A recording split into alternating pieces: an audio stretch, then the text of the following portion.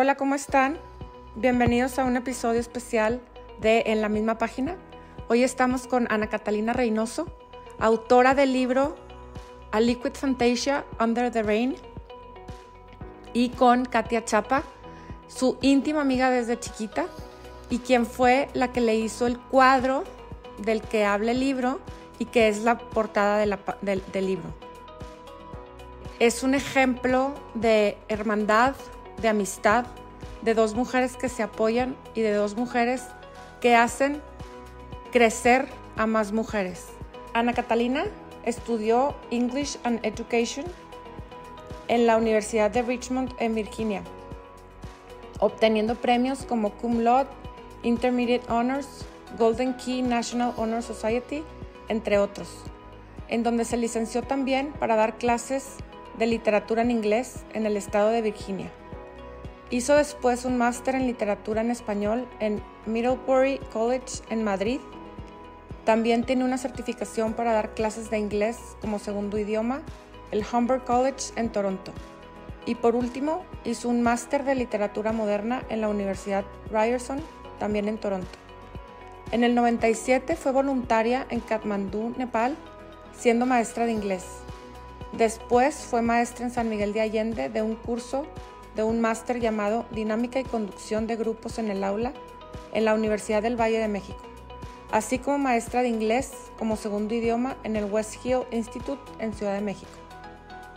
En el 2020 estrenó su primera novela, A Liquid Fantasia Under the Rain, con la que ganó los siguientes premios. Primer lugar de drama en los Latino Books into Movie Awards del 2020.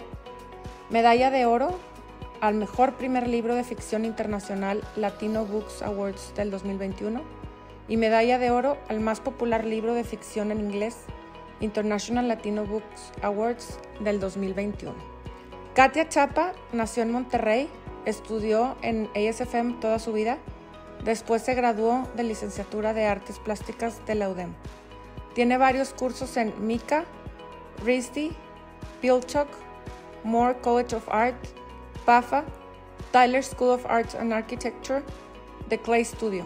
Tiene Premio Nacional de la Juventud con un reconocimiento especial en actividades artísticas en campo de escultura. Hizo también un International Artist Workshop en la India en el 2000. Estamos felices de tenerlas aquí con nosotros. La entrevista estuvo padrísima, no se la pierdan. Quédense con nosotros en la misma página.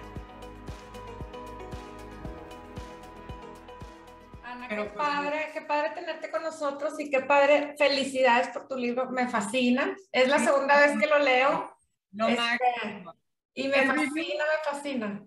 Perdón que te interrumpa, pero es que el review que me diste fue así como perfect validation en el sentido que nadie que yo supiera que realmente, o sea, amigas mías, amigas de mi mamá habían leído el libro, pero yo tengo cero, o sea, nunca había escrito nada, no, eh, fue así como paso al abismo, así de a ver qué pasa. Y que, que, que hayas escrito eso ya sabiendo que aparte eres lectora así, este, o sea, olvídate, fue como, ah, ok, sí lo hice más o menos bien, o sea. Lo hiciste súper bien, súper bien, muchas felicidades, a mí me fascinó y sobre todo me fascina el mensaje final de unámonos las mujeres, ¿no? Ya no hable. Ah, ya, ya, ya empezó la entrevista. Ya. Ah, yo pensé que ya, ya estás gastando ideas muy buenas. No, ya estoy grabando. Katia, hello. Katia, bienvenida. A Katia la invitamos también porque ella es la pintora del, de la, de, del cuadro de la pintura que, que describe mucho el, el, libro. De la portada. De la portada y fue realmente también, este, lo platicábamos, lo platicamos mucho, ahorita van a ver, porque Katy y yo somos amigas desde hace muchos años. Le, le digo, es que nos peleamos muy a gusto, la verdad. le dices amiga. Y claro, yo siempre supe desde que empecé el libro, o sea, y mira que lo empecé hace mucho, pero si yo sabía que la portada que llevara un libro mío, lo iba a pintar Katia. Felicidades, Katia, está padrísimo. Oye, Ana, ahorita le estaba haciendo perdón. Fabiola mi libro, mira, aquí está mi libro, y yo le apunté cuál es cuál. Exacto, sí. eso hay que hacer con los libros. Yo soy igual, los rayo, los doblo, o sea, son míos ya, los, los incorporo. ¿no? No, quise, no quise rayar arriba del, de la pintura, pero abajito le, le escribí cuál era cuál. Hola, Somos Cristi Mesta y Fabiola Ramírez en un programa especial de En la misma página, en donde platicaremos a fondo con autores, editores y maestros. Quédense con nosotros para escuchar y conocer a estas personas que nos comparten parte de sus vidas y experiencias.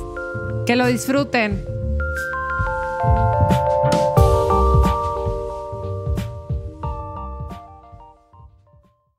Oye, bueno, platíquenos, platícanos cómo nace esta idea y qué es primero, porque a mí me ha dado mucha duda, ¿qué es primero la historia o el cuadro? bueno, lo empiezo, Katy, ¿y tú le sigues? Sí, está bueno, claro. Ándale. Este, yo empecé a escribir esta historia, yo creo que tenía yo como 21 años. Y lo empecé a escribir, yo sabía que iba a escribir algo, al igual que ustedes, me encanta la lectura, siempre este, me puede encontrar cualquier persona, o sea, estaba yo siempre en mi recámara leyendo, siempre tenía así de libros esperando, este, y yo sabía que algún día yo quería escribir algo. Y esto empecé, curiosamente todavía lo tengo, eran tres hojas en español, porque en ese momento estaba terminando de estudiar una maestría y era en español, y me aventé y dije, ok, todo lo que yo sabía es que había una protagonista, y que se iba. Para todo esto ya había como muchos momentos de un grupo de, una amistad padrísima con un grupo de, pues mi grupo, mi grupo de amigas del americano de toda la vida.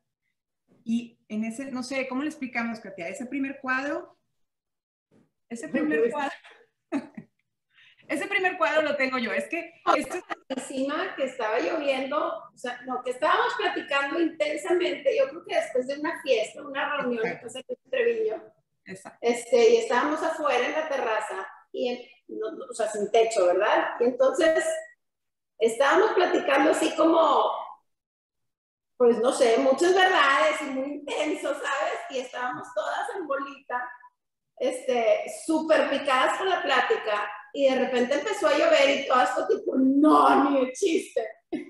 No se podía acabar la plática.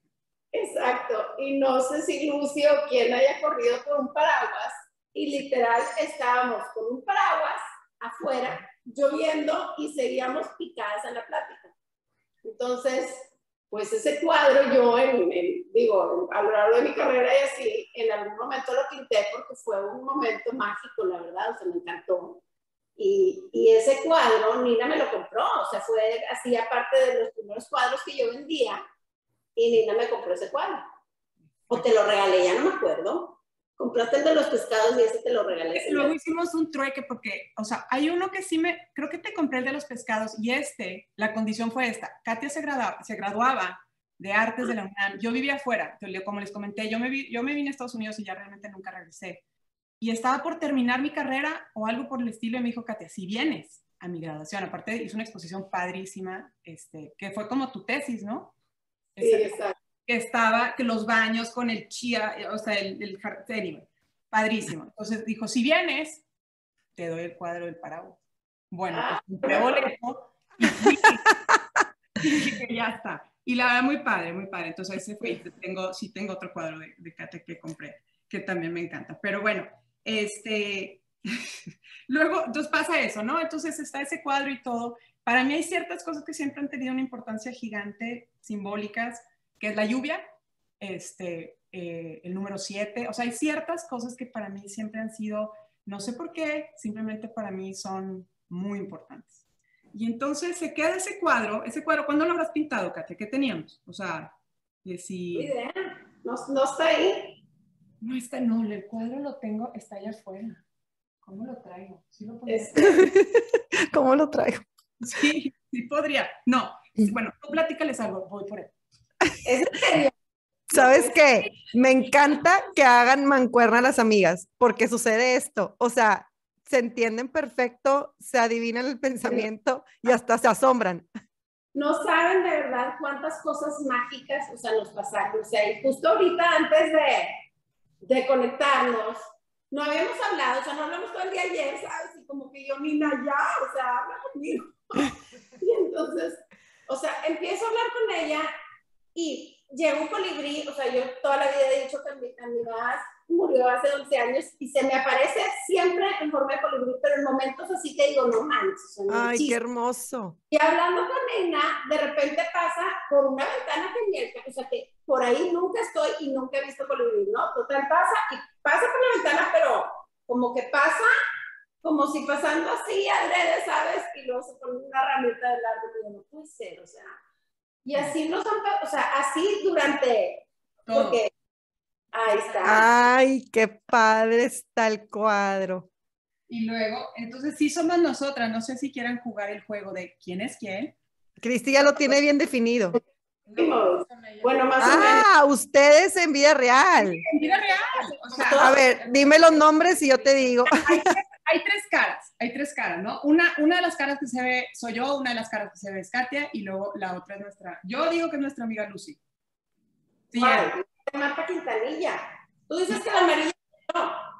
no, Yo ya no me acuerdo. porque tiene el lunar, ¿te acuerdas? De Ah, Lucy. De Lucy. Piensa así es luz. Sí, sí.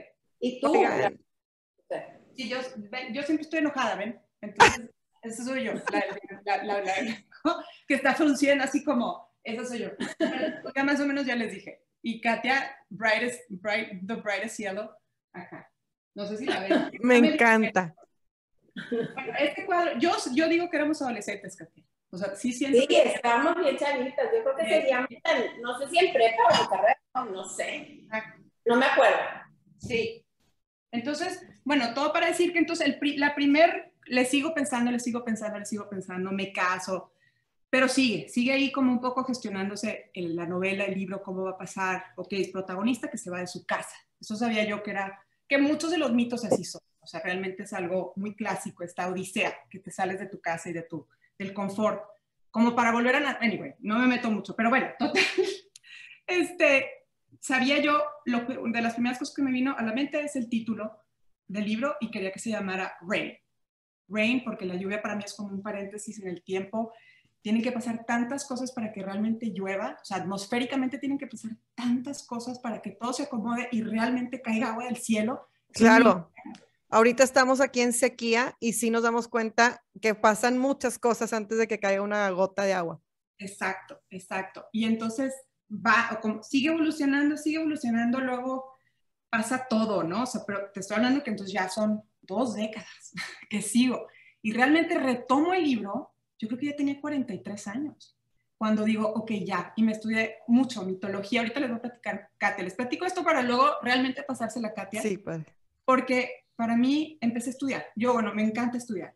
Entonces, este, la mitología griega, las diosas, este, el enneagrama, me encantó. Todo esto empieza a nutrir la idea del libro y, mis personajes y darles, porque si no, al mero principio no es por nada, todos mis personajes sonaban igual, porque una vez más, yo no había escrito nada, o sea, es- escribía trabajos para la escuela, pero no, nada así, nada creativo, ficción, ¿no?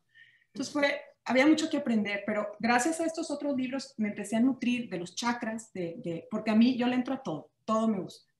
Y todo se lo empecé y se empieza a acomodar y empiezo a estudiar un poco de la astronomía y de la geometría sagrada y todo me servía justo en el momento. Entonces, en- y se da y digo, wow, ok, entonces esto va a ser la estructura del libro, por ejemplo, es una octava, do, re, mi, fa, sol, la, si, do Sí. Todo esto entonces se empieza a nutrir el libro de todo esto que estoy leyendo y se empieza a formar y así pasa, es así, así se, se genera este libro. Y entonces de repente le digo a Katia, ya lo acabé y ahí te va. Y Katia yo creo que fue, le, le estaba... Así La tercera persona que, mis dos editoras y Katia fue la siguiente persona que leyó el libro.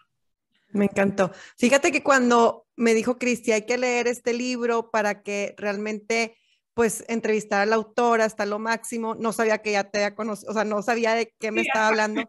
Y, y, y luego lo que le digo a Cristi, de hecho se lo comenté ayer, yo soy muy, que agarro el libro, checo las páginas del libro y entonces calculo, ok, este libro, si tiene 300 páginas, ah, como yo soy, me va a durar dos días o tres días, depende. Soy muy así, muy matemática. Me gusta saber cuánto tiempo me va a llevar por el libro y Sí. que voy viendo que este libro no tenía números y me empieza a dar así como que una taquicardia, microinfarto. Y yo, ¿qué voy a hacer con esta información? Y luego pones en la primerita hoja, dice, olvídate de los números de las páginas, olvídate de todos estos chapters y todas estas cosas y nada más disfrútalo. Y dije, ¿sabes qué? Esta experiencia me va a gustar. Y así. Me encantó, me encantó que no hay ni un número, que los, los capítulos del libro son pues relacionados a lo de la música que dices y realmente ya no supe ni cuánto tiempo me tomó o no me tomó en cada capítulo porque no sabía cómo medirlo. Me fascinó, muy, muy para experiencia. Oye, y ahorita que estás hablando de que todos tus personajes te, sal, te salían igual o, o parecían iguales, Sí. realmente lograste personajes sumamente diferentes, porque eso yo creo que es la magia del libro, es la mezcla de esas mujeres, todas diferentes y todas complementándose entre sí. Es parte de la magia, ¿no? Qué linda, Cristi. Te lo agradezco tanto porque de veras, si algo podría yo aceptar así como que sí hice algo, es, es le dediqué mucho tiempo, mucho, mucho tiempo y yo tengo que decir, y realmente fue el enneagrama, que no sé si lo conozcan, que me ayudó a entender lo que es el esqueleto psicológico de una persona y que realmente son totalmente diferentes y que no, debe- no deben de hablar igual. No todas deben de decir maldición. O sea, no puede ser. O sea, era, es muy fácil caer en la trampa de, pues que todas suenan como tú. Acá Claro. Claro. no sé. Y entonces ahí, pero sí te lo agradezco y sí fue, sí fue, eh, yo creo que fue de lo más difícil, pero una vez que ya las conocí, algo que esta versión no tiene que otra versión que tú, o sea, la primera versión del libro tenía música. Katia lo leyó con la, ese, ese. Este es el, mío dedicado que ayer no lo encontré en un libro. ¡Oh, te mato! Aquí está. Cada personaje tenía una canción, ahí no sé si Katia, pero bueno, cada personaje tenía una Sí. canción y esa fue otra cosa que me ayudó, Cristi, a, ¿cómo se llama? A realmente, era como si, si no me estaba saliendo bien la voz de, de ese personaje, ponía esa canción y la podía ver caminar y la podía ver cómo se vestía y, y como que así, ¿no? O sea, realmente a través de la música es donde yo también podía, ah, ya está, ya puedo. Oye, y, y ahorita que decías que acabas el, el libro y se lo mandas a Katia a que lo lea, Sí, ¿en qué momento el, el, el cuadro, porque el cuadro está mencionado, o sea, está descrito de una manera que la tenías que haber visto ya para poderlo describir así? Aquí es donde le va a pasar a Katia, aquí tú, take it away, o sea, todo tuyo, darling. Ay, Bueno, pues obviamente, aparte yo para, para leer, porque pues era, ¿verdad? Mamá, mamá, todo el tiempo y, y había dejado de pintar y había dejado de ser, si me explico, de ser yo, había pu- puesto esa parte de mi vida completamente en pausa. Ujú. Y de verdad no tenía tiempo como ni de leer sin que alguien llegara a decirme, mamá, ¿viste? Mamá. O mi esposo o lo que fuera, ¿verdad? Entonces, me manda el libro y me dice, no lo puedes imprimir. Y yo, Catalina, ¿qué haces? O sea, por favor, yo voy a ir al Office Depot de imprimirlo, o sea, se me va a acabar la tinta si lo imprimo aquí. No puedes ir No tengo copyright, no. leer el libro, ni de chiste lo puedes decir, no, o sea, ni de chiste. Y yo, bueno, que, o sea, leyendo en el celular, mareada ya de ver, picadísima, y lo dije, es que no, ya, o sea, no me importa, voy a imprimir, no sé, dos capítulos o no sé cuánto voy a imprimir. Me puse a imprimir en la computadora y literal, o sea, se van a morir de la risa, me fui al estacionamiento un día en la noche, en el que fui a cenar yo no sé, y me escapé de mi casa y dije, ya no puedo más porque no puedo leer. Me fui a casa, me, al estacionamiento del campestre, literal. O sea, ventanas abajo, así con mis hojas, o sea, porque eran hojas, ¿sabes? Y, y- y, o sea, quitaba la hoja y la pasaba, ¿verdad? Y quitaba la hoja y la pasaba este, a leer el libro. Y, y eso de que dices de, de que el libro, pues el, el- Nina ya había pintado el cuadro, o sea, la verdad es que sí estuvo bien difícil para mí, porque pues mugre Nina, ella ya había pintado el cuadro, o sea, entonces pues ok, pero pues no me cabe, o sea, y empezando desde el tamaño, o sea, porque había cierto tamaño escrito y, y le dices que no me ca- es que tiene que ser el golden ratio y el golden rectangle y este, esta cosa del, ¿cómo se llama el caracol? El, o sea, el- El, es- nau- el Nautilus. Nautilus. Ajá, el- Eso, sí, sí, sí. me traje todo esto ayer buscando todas mis cosas, ¿verdad? Y, y este tiene que ser, o sea, tiene que ser o de este tamaño, o de este tamaño, o de este tamaño, Pati. Yo decía, o sea, hacía todos mis, cálculos y el boceto decía, es que no me cabe, o sea, no, no hay manera, porque quedaba como muy, pues, muy alargado, pues, entonces, no, no me cabía. Quebrándome la cabeza desde eso, desde la medida, y mi niña decía, no, o sea, sorry, tiene que estar. Y yo, casi lo mato, ¿verdad? Nos van a ayudar de arriba, le digo, nos van a ayudar de arriba, porque mira, esto es algo sagrado, esto va a funcionar muy bien. Y pues obviamente la curva pues era perfecta para que, para que, para que fuera el paraguas, ¿verdad? Entonces, total, pues un día, bendito Dios, me iluminó Dios, yo creo, yo no sé.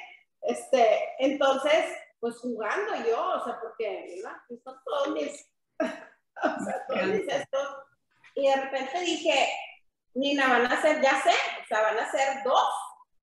Este, o sea, van a ser, no, no puedo con uno, van a ser dos golden ratios, ¿verdad? Ay, qué Entonces, fue, empezó, que ya, bueno, ya tengo el paraguas y ya me caben todas acá abajo y estos puntos, o sea, los, más, los puntos más importantes, ahí viene la rana, ahí viene la hormiga, ahí viene, o sea, ahí, ahí pongo todo, pero no, no de, de, que estuvo fácil, no estuvo fácil, y luego aparte también pues digo, mucho crecimiento para las dos, yo creo, en lo personal, en nuestro camino de vida.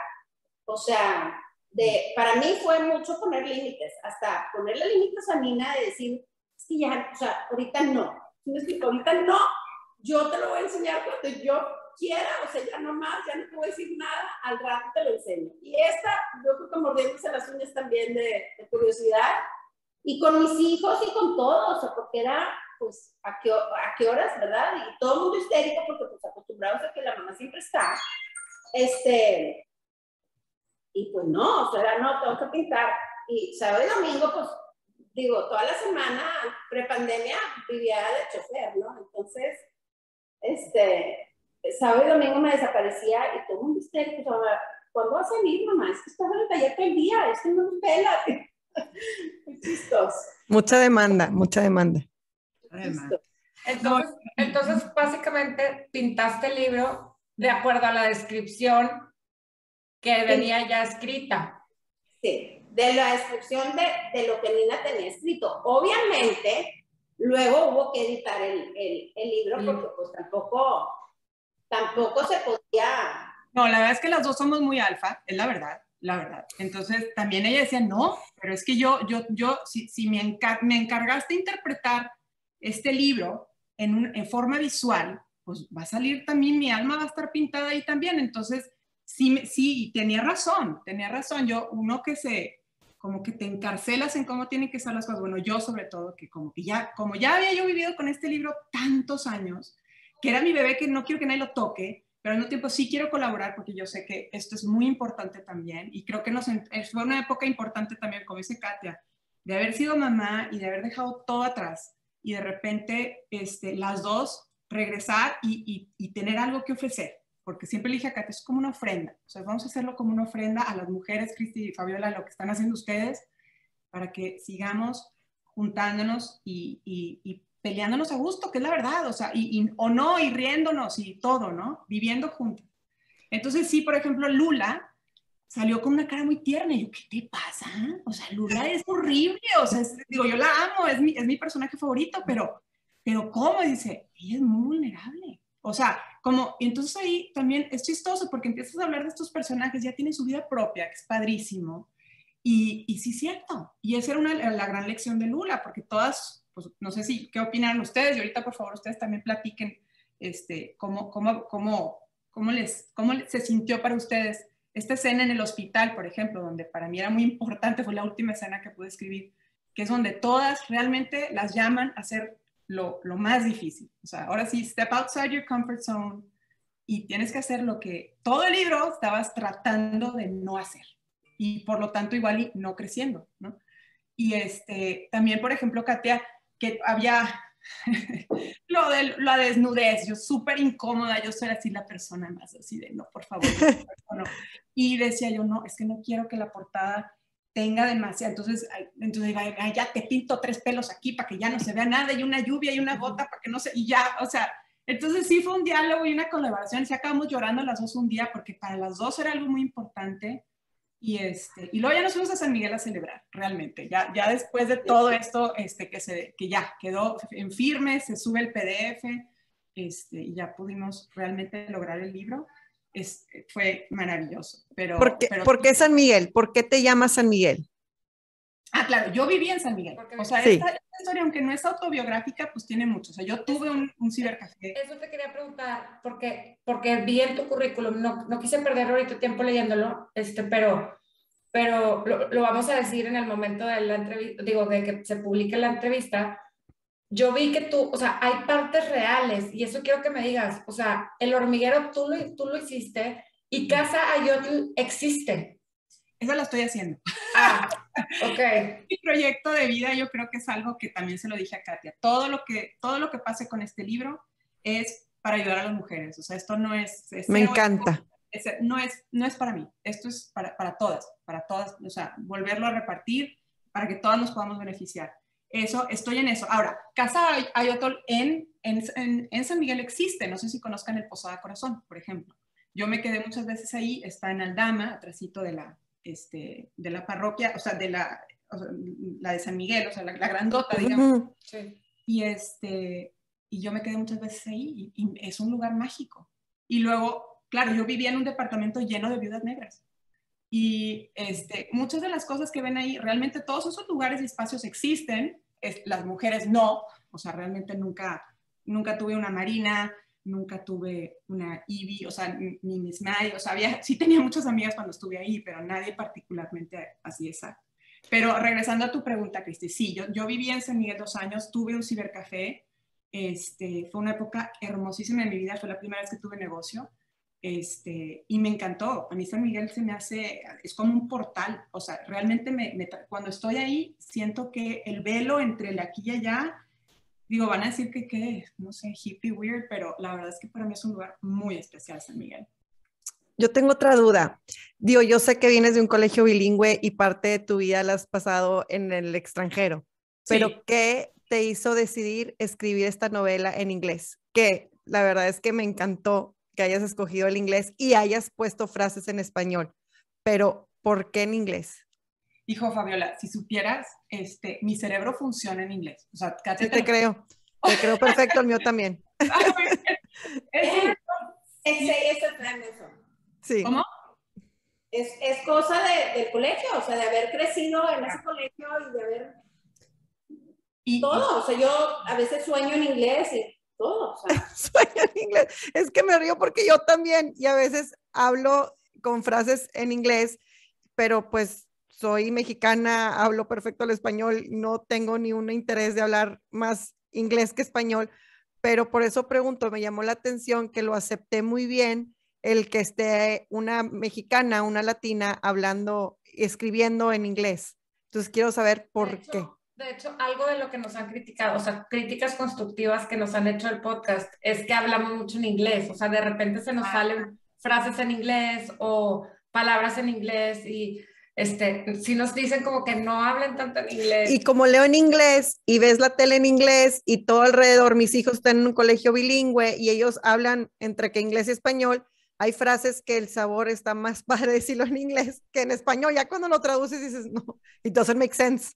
Exactamente. No, estoy contigo, Fabiola. Y la verdad es que vamos a tener que como decir, pero everybody, let us do our thing, ¿no? O sea, como yo sí, definitivamente, te digo, mi cerebro funciona en inglés, todo lo que yo leo es en inglés, mi vida es en inglés, y, pero el español ayuda. Entonces son herramientas realmente. O sea, yo a los puristas, no te creas, sí, no, no me encanta. O sea, digo, ¿por qué? ¿Por qué no? Yo tengo mucha familia en el Valley, en Bronzeville, en McAllen. Es divertidísimo. Si ponen una estación de radio local cuando estén en la isla del padre, no saben las carcajadas de, oye, llámame para atrás y, like, y si alguien quiere ayuda aquí con la yarda, la rufa, just call y es, para mí es divino, es creatividad. O sea, es algo que, ahora sí entiendo que hay una frustración, de veras, cuando, cuando realmente no lo hablas y, y es que está padrísimo su podcast. Yo ya me eché el de Mónica Castellanos, me eché el de Teranos porque son dos, este, y sí igual y sí, como, eso es lo que traté, no sé, Fabiola, ¿cómo te pareció? Y yo tuve críticas constructivas también diciendo, oye, tienes unos párrafos ahí demasiado largos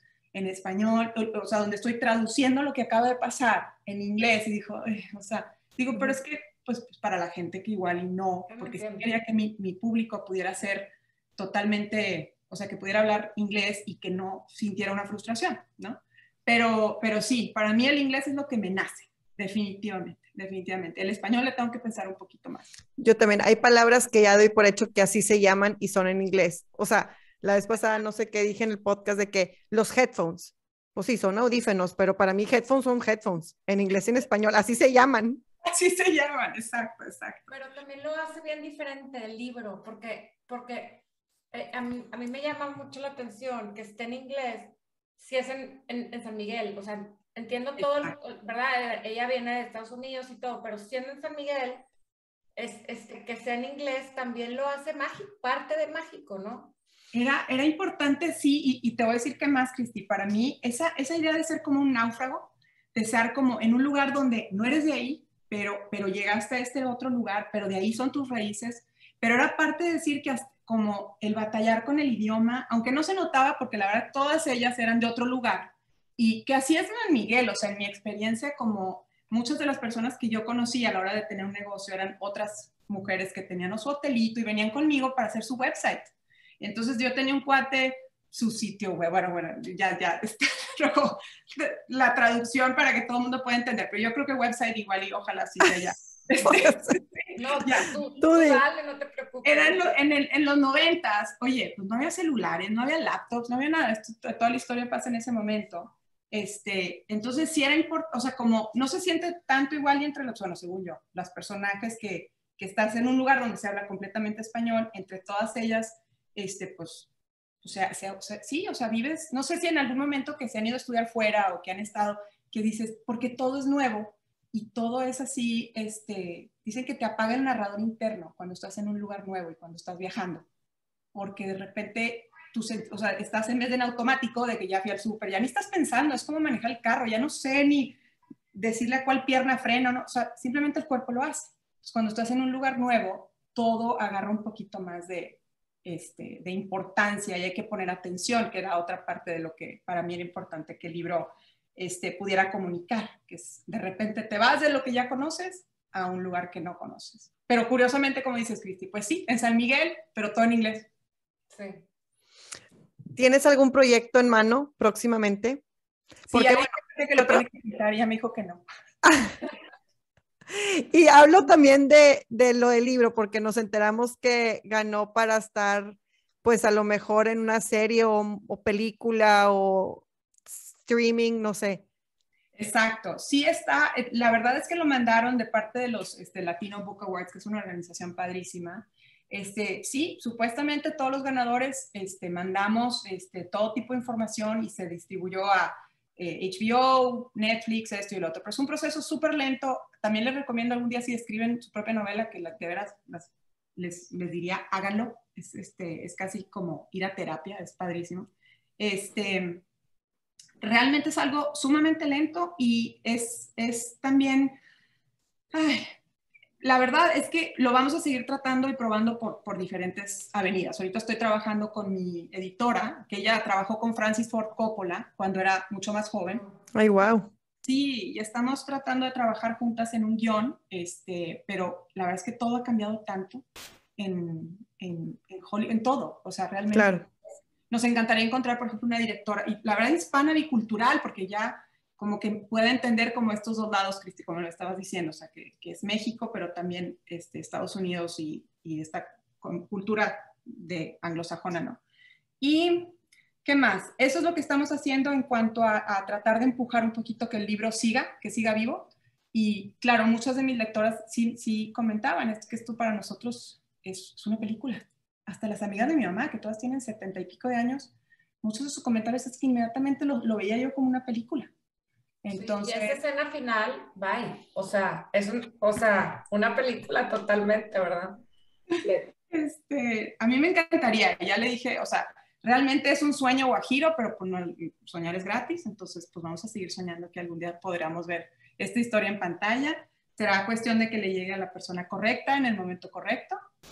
Y, este, y luego, claro, esto lo, lo que mencionaba de Katia es que sí, esto es parte número dos, es mi gran porrista de ya, tienes que ponerte a escribir.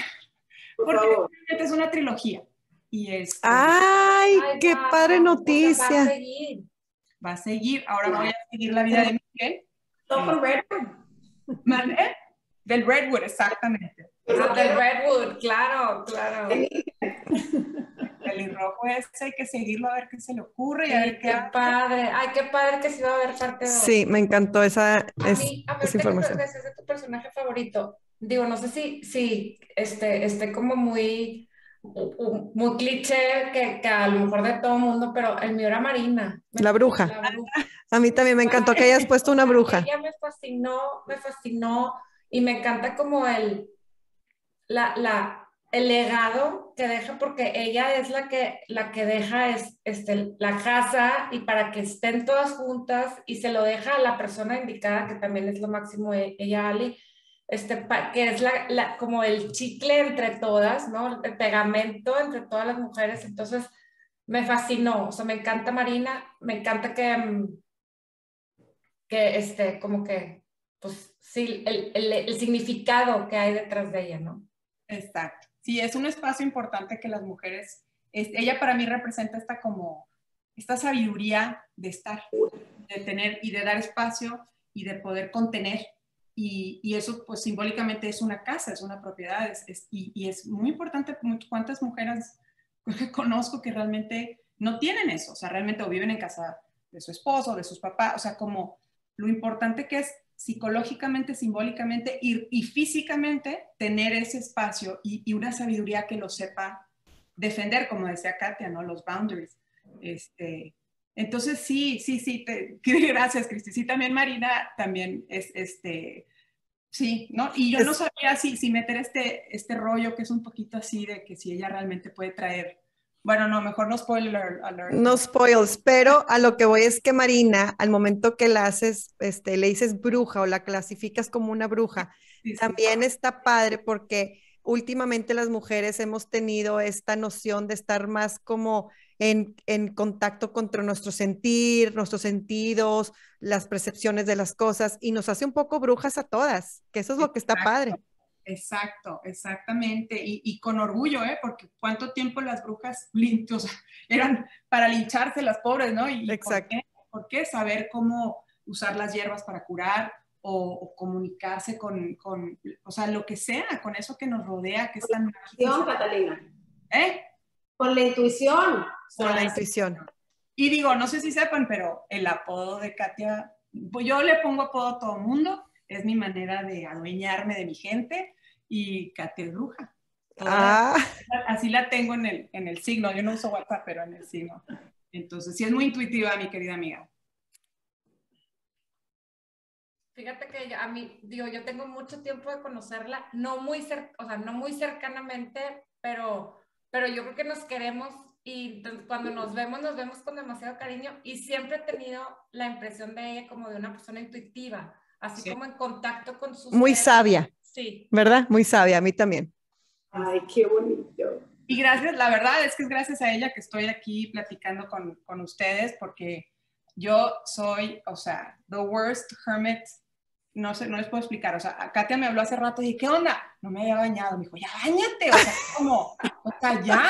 Ah, sí, cierto, sí, cierto. O sea, no, no, no sé. Vivo así como en mi mundo es así un vaso de agua. O sea, es muy chiquito. Entonces, claro, yo le agradezco muchísimo a Katia todo, todo el trabajo que ella hizo por promover esa historia y por compartirla con más gente, porque yo no tenía ni por dónde. O sea, realmente no, no tuve ningún plan de, de qué voy a hacer después de que lo escriba, cómo lo voy a dar a conocer. Cero. Y en pandemia, peor. Pues muchas felicidades, lo hiciste muy bien, me encantó, me encantó desde la portada, obviamente, que de hecho Cristi sí me explicó, mira, aquí están todas porque no había tenido, te digo que yo nada más me voy por lo rápido, por lo concreto, por lo práctico, hasta que ya lo pude admirar, me encantó esta experiencia del libro, me fascinó la historia, muchísimas felicidades a las dos, de verdad, muy bien, muy buena Y mancuerna. el mensaje a las mujeres es espectacular, Sí. espectacular. Y yo creo que todas las mujeres deberían de leerlo. Todas tenemos algo de alguna de las mujeres que ahí este, mencionas. Todas hemos sido una en algún momento de nuestra vida, una o la otra o la otra.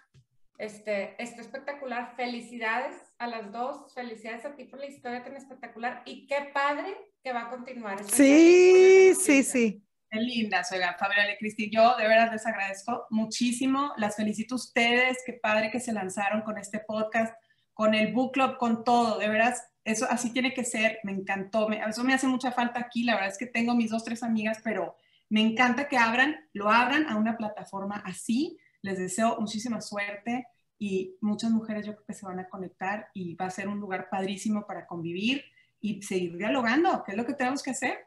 Gracias. Te las felicito y muchísimas gracias a las dos. Gracias a ti, gracias a las dos. Bye. Bye. Bye. Bye.